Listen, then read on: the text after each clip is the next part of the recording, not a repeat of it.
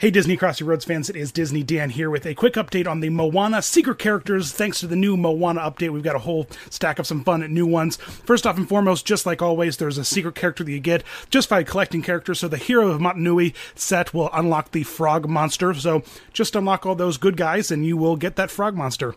Next, we're going to look at the Chicken Feed secret character. Yep, you heard me right. Chicken Feed. That is the stuff that chickens eat. Collect 25 chicken feeds with Heihei and you will get the Chicken Feed secret character.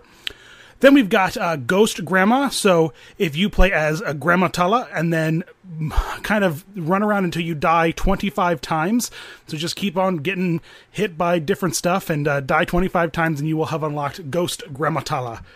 Next, we're going to need Toddler Moana, who is a daily mission secret character. So this uh, secret character, the next couple secret characters depend on her.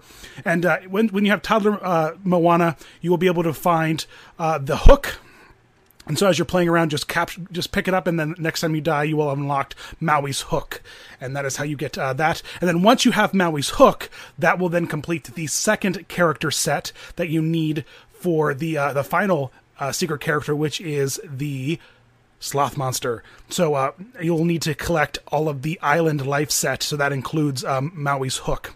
Now we're going to head over to the Lion King land and get the flower mane Simba. Hop around as uh, baby Simba until you encounter that line of zebra, and then as you uh, pass through it, you will have unlocked the flower mane Simba character.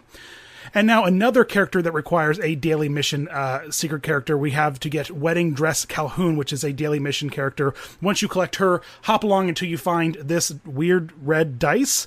I, I don't know if this is a glitch or something, but once you find that weird red dice in the uh, world, you'll be able to unlock the Tuxedo Felix. There he is, Wedding Tuxedo Felix. So there are all the secret characters. You're going to need two of those daily mission characters uh, Toddler Moana and uh, Wedding Dress Calhoun. As always, thanks so much for watching. Click here to subscribe. You guys rock.